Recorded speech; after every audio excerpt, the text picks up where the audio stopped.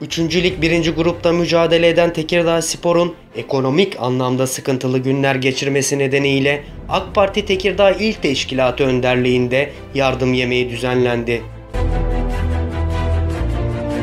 Yardım yemeğine vali yardımcısı Ahmet Büyükçelik, AK Parti İl Başkanı Ahmet Akçay, milletvekilleri Mustafa Yel, Ayşe Doğan Metin Akgün, Tekirdağ Spor Başkanı Mustafa Aydoğdu ve çok sayıda iş adamı katıldı. İki seneden beri hiçbir yerde sıkıntılarımız da olsa ne eleştirdik ne de açık beyanatlar verdik. Hep içimize attık ama artık konuşmanın zamanı geldi. Amacımız hiç kimseyi kırmak, incitmek değil. Tekirdağ Türk ekonomisinin gelişmiş ülkelerden bir tanesi değerli dostlar. Merak ediyorlar. Ya diyorlar bu gelirle, bu kişilerle, bu yönetimlerle nasıl şampiyon oldunuz? Biz gönül sevdalıyız. Beynimiz, kalbimiz bir bütün. Davaya inanıyorsak biz şampiyon oluruz ve bu iddiamızı da sonuna kadar sürdürdük.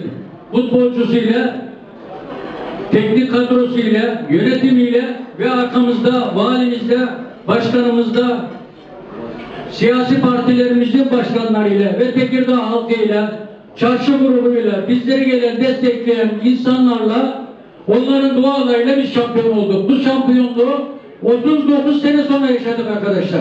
Bunu ben değil, bunu biz Tekirdağ halkı yaptık. kimlik arayışında tam olarak bir yere varamadığımızı görüyoruz. 1500 tane sanayi tesisi olan bir il hala sanayi şehri olarak anılamıyor. 4 milyon dekar ekilebilir arazisi olan bu şehir hala bir tarım kenti olarak anılamıyor. Yine 32 bin tane üniversite öğrencisi olan 165 bin ilk orta lise öğrencisi olan bu kent bir eğitim kimliğiyle anılamıyor.